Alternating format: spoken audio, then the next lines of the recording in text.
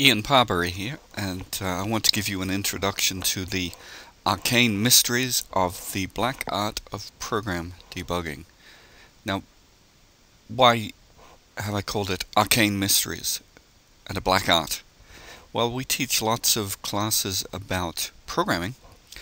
We don't tend to teach very many classes about debugging, whereas in fact a programmer will spend uh, an awful lot of their time in the process of debugging. So here we go. After the introduction, which we're doing now, I'll tell you a little bit about debugging tools, uh, quite a bit more about debugging with printfs, and uh, finish up with some other debugging methods. Here we go. A taxonomy of bugs. There are two main kind of bugs. One is your program crashes, and the other is your program doesn't crash, but does the wrong thing. Notice that failing to compile is not a bug, so don't come to me with uh, your uh, programming assignments that don't compile. You won't be getting any credit for them. Failing to compile is a failure, not a bug. So anyway, program crashes or works, but not quite the way you want it to. A quick historical note here, the term bug is usually attributed to Admiral Grace Murray Hopper in 1947. Now that's a picture of her at uh, top right. She lived to a, a grand old age. When uh, colleagues traced a fault in the computer they were using, the Harvard Mark II computer, they traced the fault to a moth stuck in apparently relay number 70 in panel F. Uh, she remarked at the time that they had succeeded in debugging the system. Now the remains of the moth can still be seen in their logbook. Here's a copy of their logbook. They carefully logged everything that went on and as you see there is the moth taped to the middle of the page. This is relay number 70, panel F, moth in relay, first actual case of bug being found. Alright, so don't be ashamed of having bugs. Now, Theodore Rubin said in another context, the problem is not that there are problems, the problem is expecting otherwise, and thinking that having problems is a problem. Now, if we replace the word problem there by bug. The problem is not that there are bugs, the problem is expecting otherwise and thinking that having bugs is a problem. So yes, you will write code that has bugs in it. There's no need to be ashamed of it. There's no need to try to hide it. Everybody writes buggy code. Of course, you want to keep those bugs to a minimum and to fix them when they turn up, but of course, um, they will be there. Over on the right you see a couple of bugs. That I, I took this picture at my uh, father's house in Australia. That uh, centipede there is, you know, I don't know, four or five inches long, and that's a horrendously big cricket that it's dining on. So yeah, bugs can be big and hairy. Steve McConnell in the book Code Complete estimated that uh, an average programmer generates 15 to 50 bugs per thousand lines of code. Now remember, each of those bugs could hold you up a long time when you're trying to get rid of them.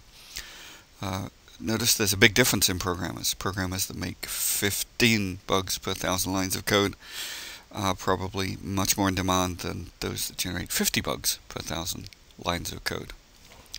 So uh, we want to get that number as small as possible, and uh, but but we'll never totally make it the zero bugs per thousand lines of code, I think.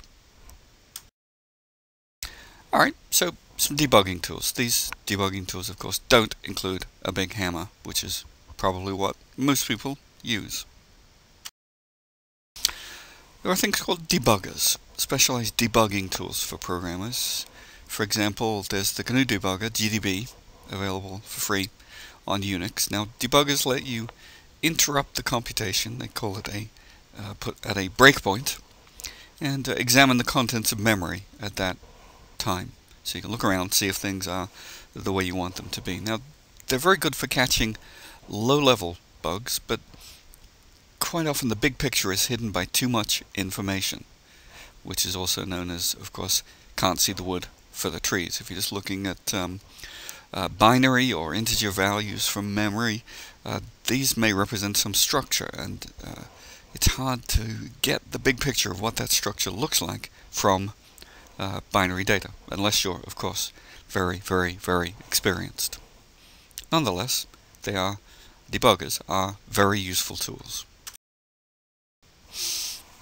So using the GNU debugger, you'll need to compile with the minus G switch, and that makes the compiler generate extra information for the debugger to use. For example, uh, if we use the command g++ minus g prog1.cpp will compile prog1.cpp and produce a.out.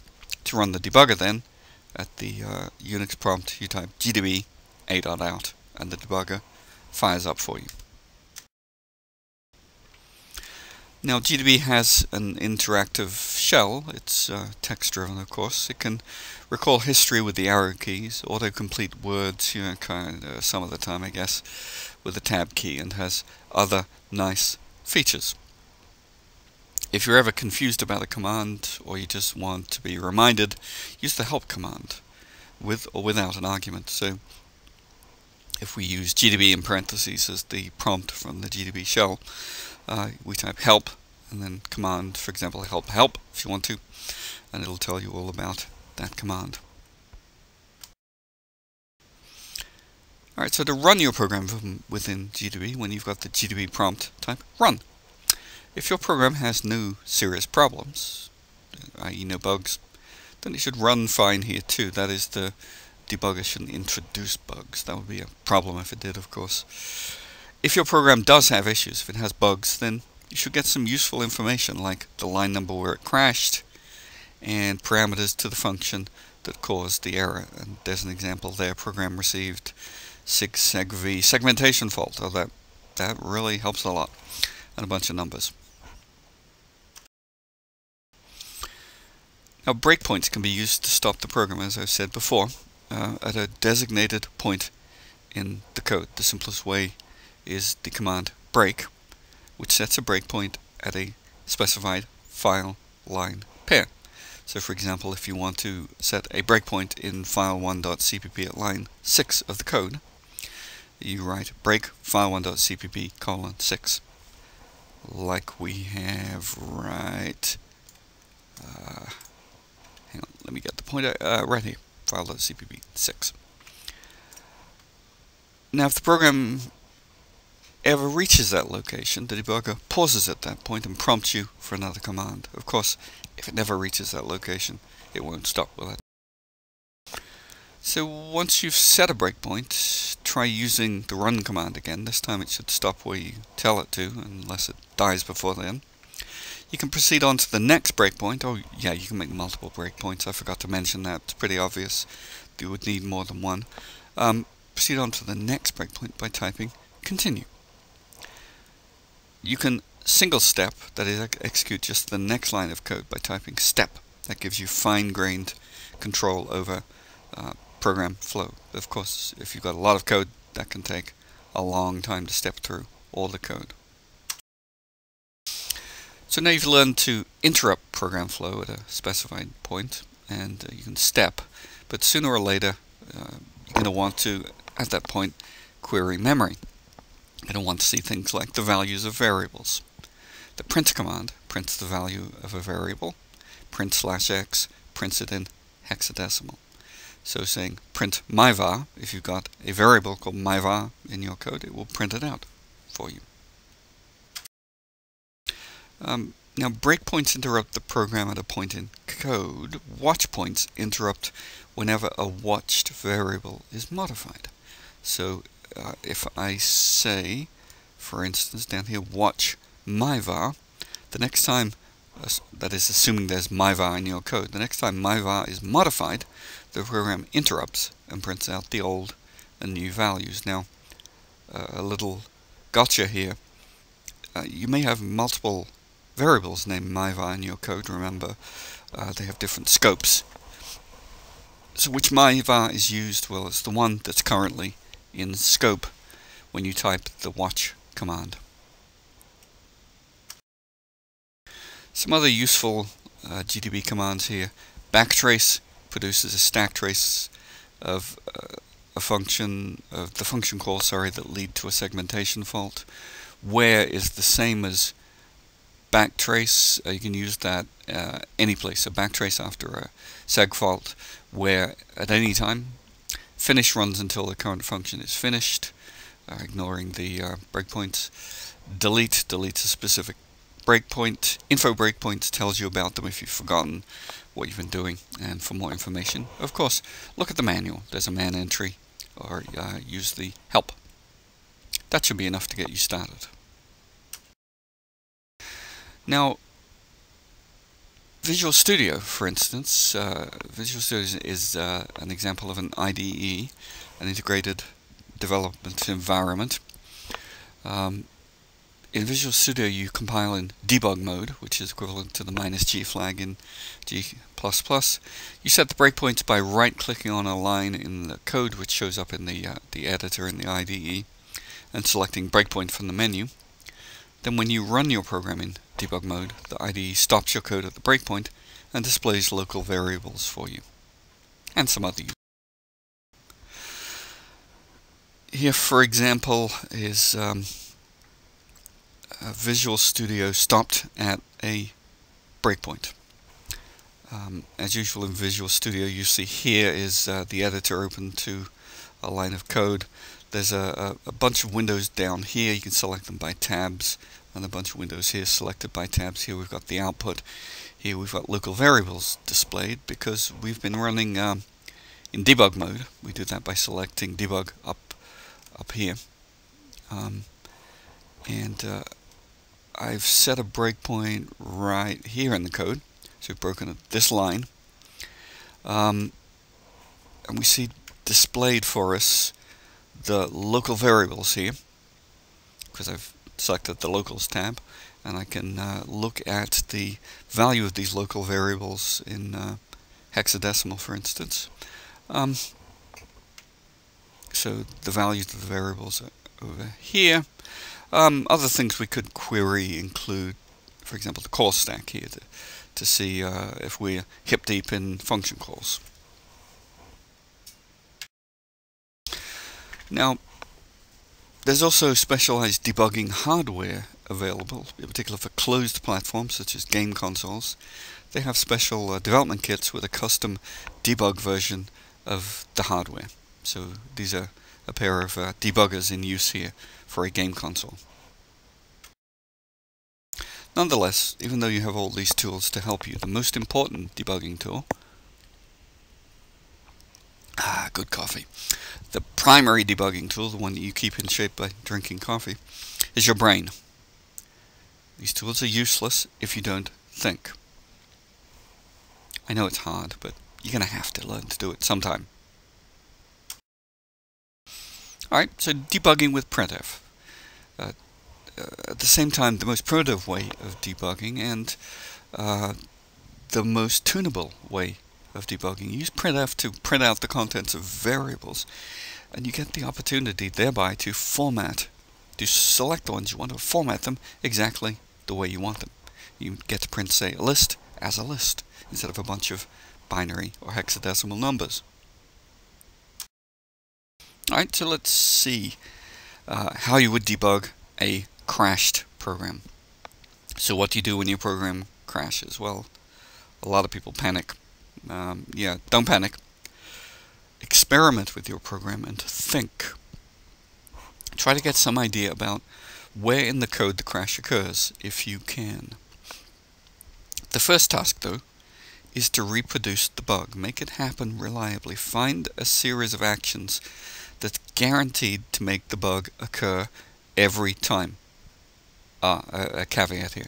If that's possible, there may be some bugs that occur probabilistically that that they only happen some of the time. You can't make it reliably happen every time, but in that case, try to find a series of actions that's guaranteed to make the bug occur with high probability.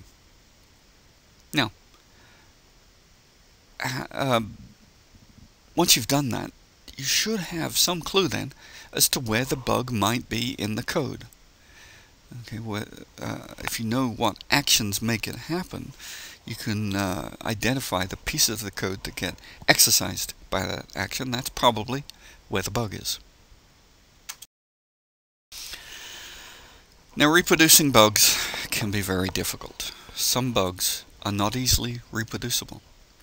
Now, in your professional life, once you become a professional programmer, you may have a quality assurance team, abbreviated QA, tasked with finding bugs. They're trained to do that. They have automated tools, and uh, they, in general, they do a good job. But they may not tell you how to reproduce the bug. They may just tell you, oh, we found it, here's what it looks like. Um, knowing how to reproduce the bug may tell you enough about it to figure out what's causing it. So you definitely want to know how to reproduce it. First of all, so you can uh, test if you fixed it, but uh, it tells you where to proceed. So QA may tell you about the bug. How, figuring out how to reproduce it may be in your hands. Alright, so we're thinking about a, a, program that crashes here. So start by adding some printfs that output messages on function entry and exit. Do this for the suspicious functions, or all of them if you have to, although that may take or should take a long time because of course you've broken your code up into a lot of small functions. Look at the output file. Oh yeah, printf, uh, I guess I should say fprintf, printf to a file. Look at the output file after your program crashes. If you see an entering function foo message, so somewhere you've got a printf entering function foo message, and, and if you don't see an exiting function foo, then you know the crash occurred in function foo. And of course, this won't be a 10-page function. This will be a short function because you know to make short functions, right? That gives you a big clue. It happened in there. When you found the function then in which the crash occurs, you need to add code to localize on which line it happens. So uh, put in a bunch of printfs until you find the line on which it happens. Now, um, yeah, remember to use binary search. You might want to put, a printf in the middle of the function, and if it's a if the bug happens before that, if the crash happens before that, you would want to put one a quarter of the way through the code, etc. Binary search. So you find which line the crash occurs. So when you found the line of code that that's bad, then add code that prints out the values used on that line right before you get to it. You look at those values, you think hard, are they right? Are they what you're expecting? Is it the, uh, uh, are the values what uh, your code is expecting to get? If not, what should they be and how did they get to be bad? Oh, key point here. Although the crash happened here, the thing that went wrong, the thing that needs to be corrected, may be someplace else. So think about that. Uh, do I put extra code in right where the bug happened to ignore a bad value, or do I go back to where the bad value was created and make it right? Well, it, it, that depends on context. So some more quotes. According to Murray Gell-Mann, a famous physicist, the Feynman problem-solving algorithm, uh, Dick Feynman, another famous physicist, his problem-solving algorithm was this. Write down the problem, think real hard, write down the solution. Mm, that's really useful for us. It may have been great for a genius like um, Feynman, but not for... Oh, we can take some things away from it, though. The write down the problem thing, yeah. Um, I'm not saying exactly write it down with pencil and paper, but make sure you figured out exactly what the program is. Think real hard. Yeah. As I said before, look at those debug values. Think why they are different, how they're different, how did they get to be different. And uh, once you figured it out, write it down. Albert Einstein, oh yeah, I should say think real hard. Previous slide I said think real hard too. Um, yeah. So Albert Einstein said, It's not that I'm so smart, it's just that I stay with problems longer. Yeah, right, he's not so smart. Of course, he's a lot smarter than all of us. But the last part of that sentence, that I stay with problems longer. You've got to keep with it until you figure it out. Because Voltaire said, no problem can stand the assault of sustained thinking. Alright, Norman Vincent Peale said something more useful. When a problem comes along, study it until you are completely knowledgeable. Then find that weak spot, break the problem apart, and the rest will be easy. Yes, in general, you find with bugs, once you find that weak spot, once you figure out what the problem is, break it into its pieces, it generally is easy to fix. It's finding it and figuring it out that uh, is so time consuming. Alright, so debug output, we can send it to uh, a debugger, but what if your program crashes the debugger? It's been known to happen. You have a bug so hairy it crashes the debugger. Sometimes you may even crash the operating system. Output to a file is good, so use those f printfs, but that's not real time, is it? It can be annoying to have to reopen it every time after you run your program. Uh, output to a remote debugger on another computer is good. You get output in real time, but it's ephemeral, it goes away, it's not saved in a file. If the uh, remote debugger crashes, it's gone.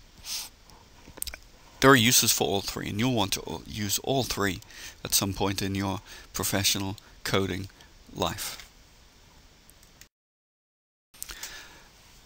So, a couple of warnings though. There are some bugs, the really big hairy ones, that can't be caught with debug printfs.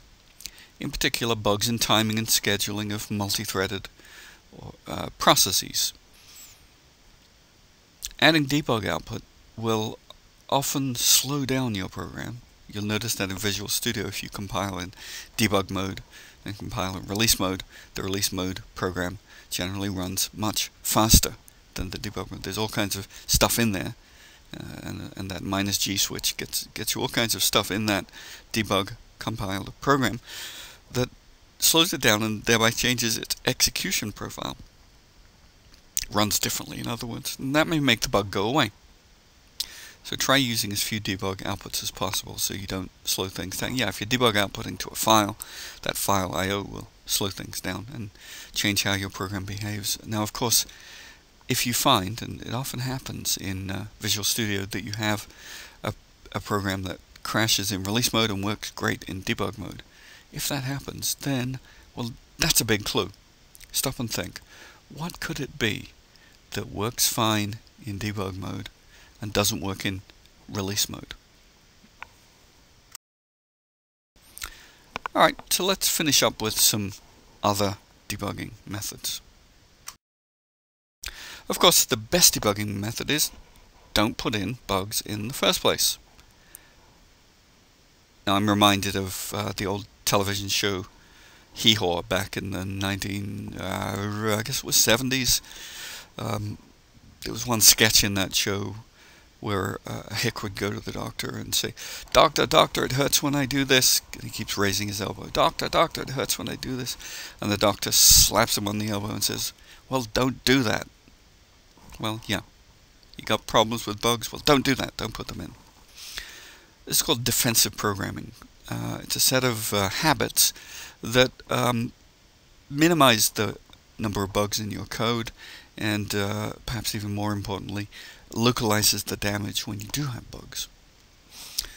Um, so in defensive programming, you want to test for preconditions even when you know they're going to be true because you made it. So if you've written, for example, um, an integer multiplication function that insists that the uh, input be positive, doesn't work with negative, so you're assuming that outside that function you do the jiggling with the negative sign, right? Multiply two negative numbers and it becomes positive, that kind of thing.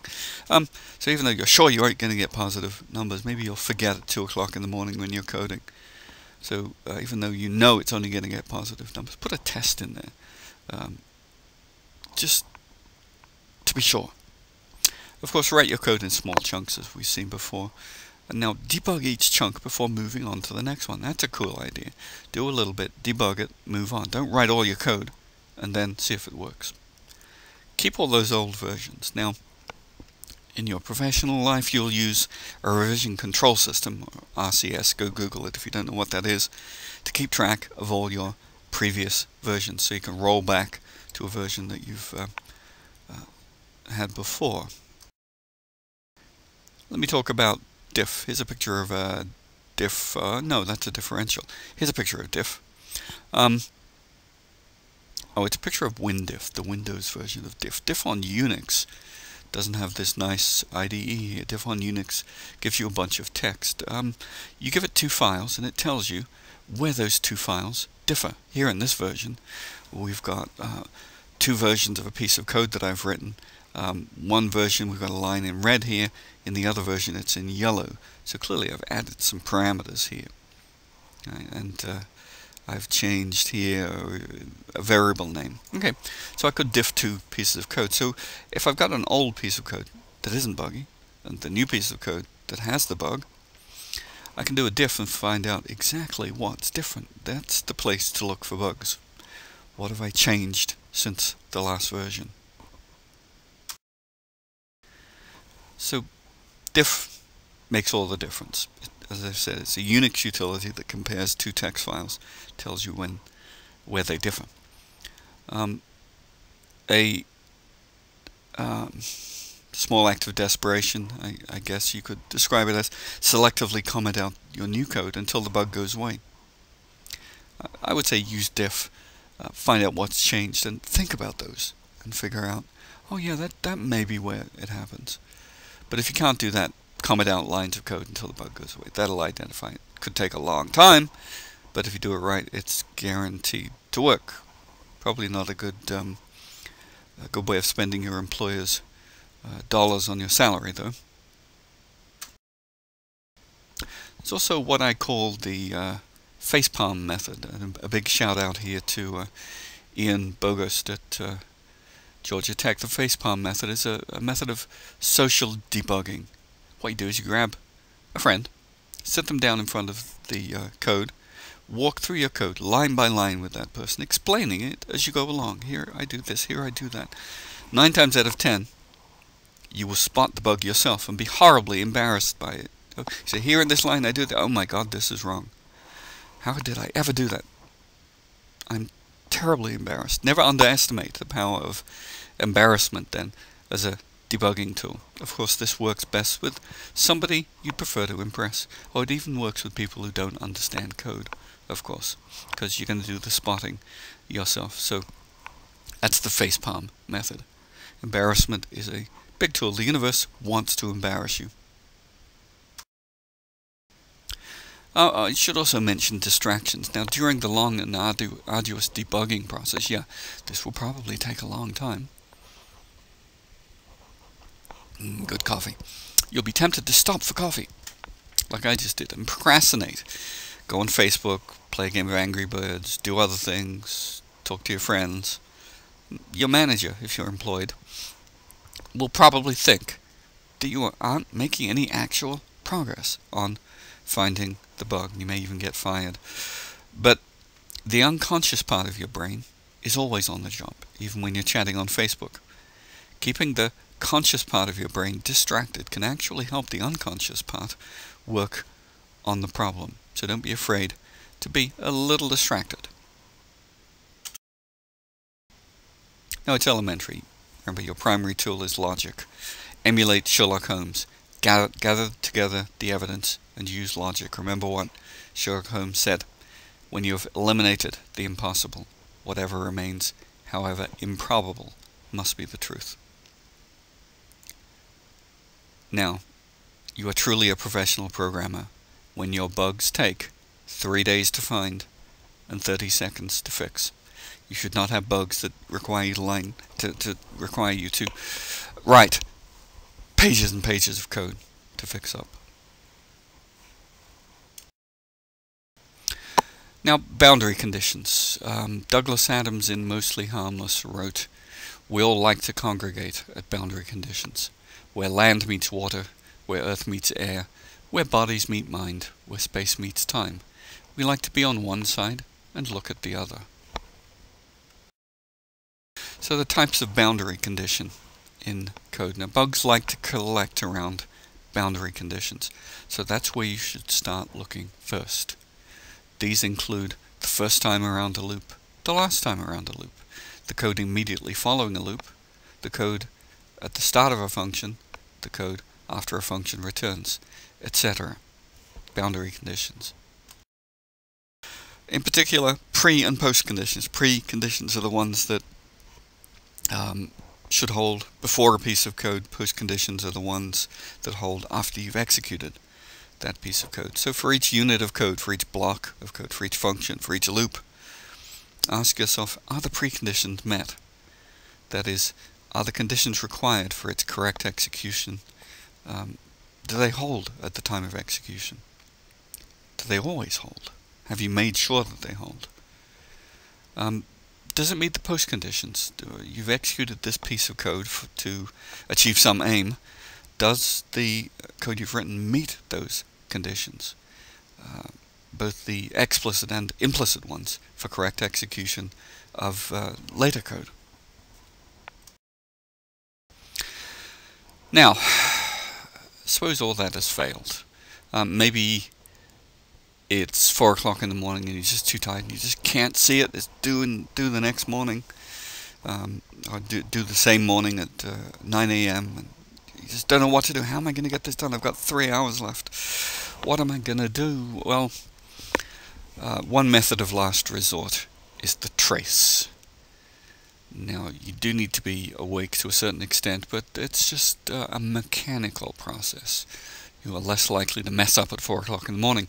Grab yourself a pencil and a piece of paper and pretend to be a computer executing your program, or more ideally, the piece of the program where you're sure the bug is. So maybe by this time you've located where it might be, but you're not quite sure what's wrong.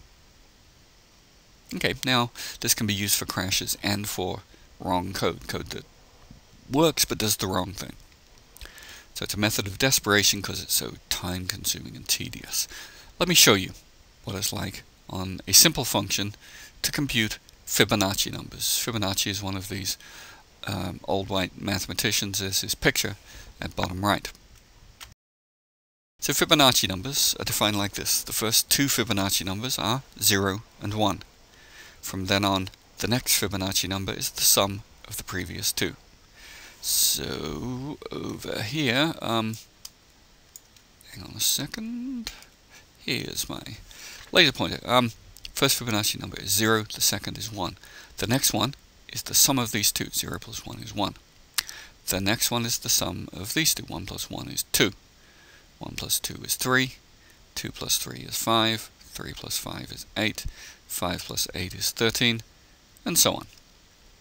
We number them starting at 0 so um, this is the zeroth Fibonacci number, the first, the second, the third, the fourth, the fifth, the sixth, the seventh, and so on. So, um, for example, 3 is the fourth Fibonacci number. And let's try to compute the fourth Fibonacci number. Hopefully we get output 3. Now Fibonacci numbers are uh, typically um, used, used as an example in elementary coding classes. Uh, Fibonacci numbers are found in nature a lot. Go Google and you'll find cute things like um, uh, the spiral in a seashell is uh, created using Fibonacci numbers. Okay, here's a simple function to compute Fibonacci numbers written in uh, C, C++ actually. Hmm. So here we go. A function returns an integer. It's called fib. Takes an integer n as parameter. It's supposed to return the nth Fibonacci number. Oh, I don't have much room for code here, and you can see uh, this is not defensive coding. What happens if if uh, n is smaller than 0? I'd want to uh, return some uh, value like maybe negative 1 or 0. I'd want to maybe throw an exception or something. Here I'm doing nothing, so not good code here, but I didn't have much room on the slide. Alright, so we want to return the nth Fibonacci number. Here we go.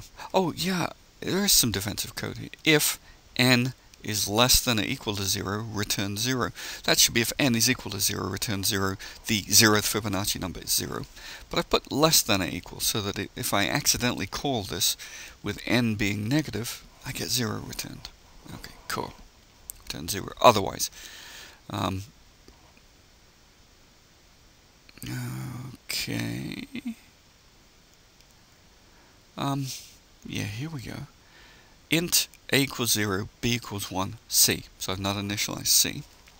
for int i equals 2, i less than equal to n, i plus plus, and um, okay, c gets a plus b, a gets b, b gets c.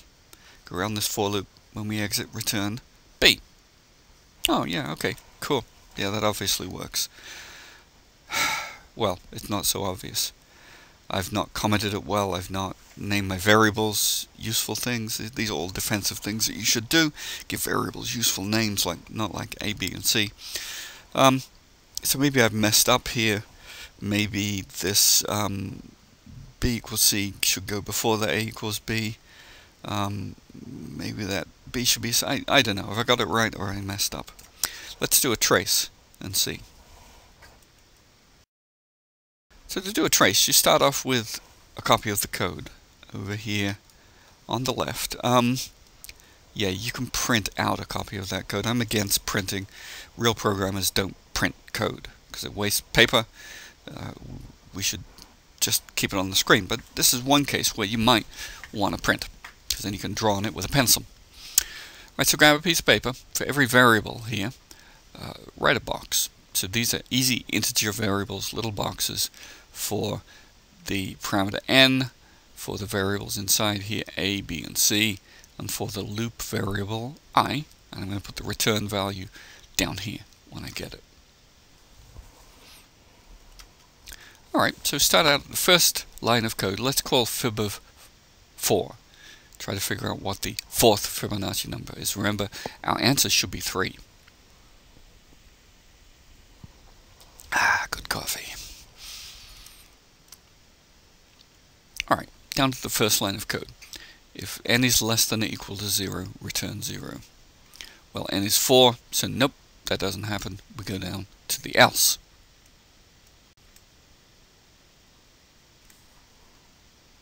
Alright, int a equals 0. Uh, sorry, screwed that up. Let's go back.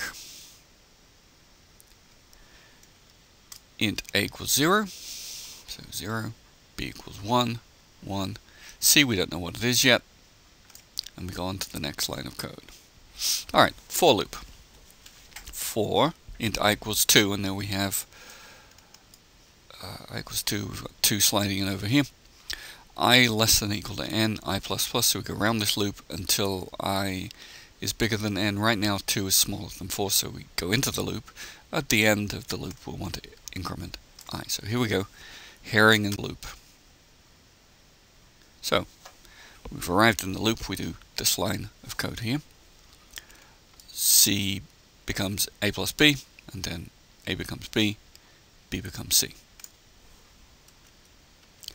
Alright, so c becomes a plus b, a plus b, 0 plus 1, c has gotten the value 1. So next a becomes b, so this a should become 1. Let's see. Yep, a becomes 1. And then b becomes c, well, um, b and c are the same, so nothing happens. Same result, and we go around the loop again. So back up here, um, we hit the loop, we have to increment i. So down here this 2 should become a 3. Here we go, 3. Um, i less than equal to n, 3 is smaller than 4, so we stay in the loop. Then we head down to this line of code here. C gets a plus b, a gets b, b gets c. Alright, so c gets a plus b. c will get 1 plus 1 is 2. Um, a gets b, b gets c. Alright, let's do that. Um, yeah, b gets 2. The others stay the same. Oh, cool. Then we head back up to the for loop. We increment i. i gets 4. Um, 4 is less than equal to 4, so we stay in, go back down to the line of code. C gets A plus B, so uh, C gets 2 plus 1 is 3. Then this B will be copied over to A, and that thing we put in C will get copied over to B. Here we go. C gets A plus B. Right, C gets 3. A gets B, so the 2 gets copied from B over to A. Um, and then B gets C, so the 3 gets copied up to B. Cool. Back up to the for loop again. I gets incremented. So I is now 5. And um, 5 is bigger than 4, so we break out of the loop. Go to the next line of code, which is return B. We return 3, and yes, the fourth Fibonacci number is 3. This has worked.